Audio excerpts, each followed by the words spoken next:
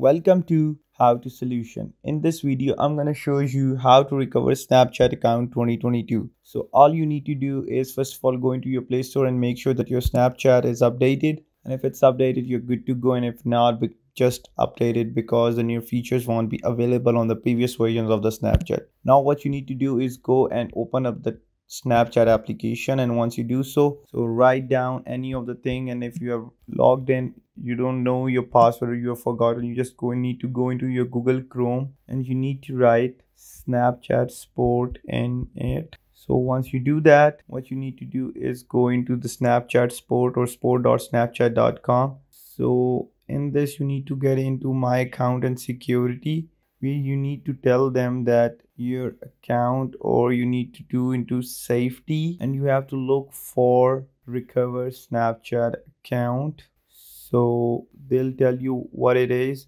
So you simply need to say that my account is locked. So once you'll tell them they'll tell you how is it and how do you do it. And you'll need to write down information on it. So this is how you do it. This is how you recover snapchat account without email password and phone number or without anything. If you guys still have any question just comment down below. I would love to answer that. Till next time peace. Take care